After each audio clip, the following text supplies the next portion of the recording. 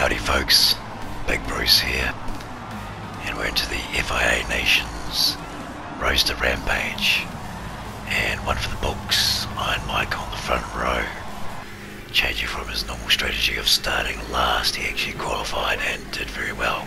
Good on you mate. Lots of familiar faces in the field today, but one man missing way down the back is yours truly. Had a few problems in the qualifying laps, made a bit of a hash out of it, so I've gone to the Iron Mike strategy, not deliberately, starting from the very back of the race.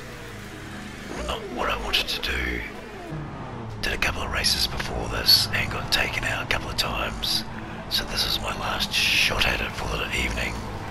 And here we are, 18th, dead last. That's about all I'm going to say for this race. Just sit back and enjoy the show. Should be good fun. Cheers.